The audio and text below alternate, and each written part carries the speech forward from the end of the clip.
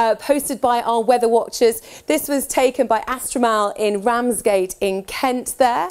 Beautiful picture. Thank you for that one. And this was over in Willingdon in East Sussex, taken by Robert MGB. So thank you very much for that. You can see there was a little bit of cloud around today, and the same will be for tomorrow too. So not wall-to-wall -wall sunshine, but uh, still dry and mainly fine. We have had just a couple of showers, not necessarily always reaching the ground though.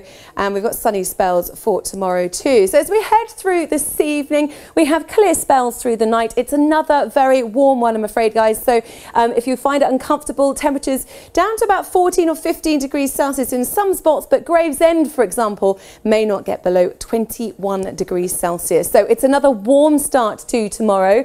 Again, a bit of cloud here and there, but plenty of sunshine and it's looking mainly dry again tomorrow. Not good news for many. Uh, temperature wise, well, we got up to uh, probably up to about 30 degrees today. Tomorrow it's looking like we'll get there again and not much of a breeze too.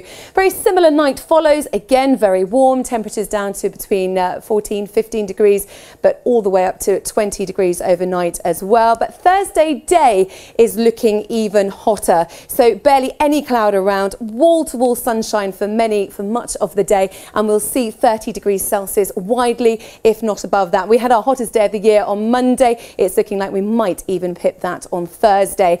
But Friday, we do have this uh, cold front coming through, and that should be bringing some showers. We're looking at the possibility of some thundery downpours, but of course, because the showers, they're not going to affect everyone, and of course, some of them may have fizzled out by the time they get to us, but it is looking like there could be some wet weather for some at least on Friday Friday afternoon and into the evening. That means on Saturday morning, there might still be clearing on Saturday, and then we'll have fresher conditions too, probably quite welcome by some, I should imagine. The temperatures are going to be dropping generally over the weekend, but still a lot of fine and largely dry weather into the next week. It's cool at the start of the week. But by the end, we could be seeing degrees of 30 by uh, Friday once more.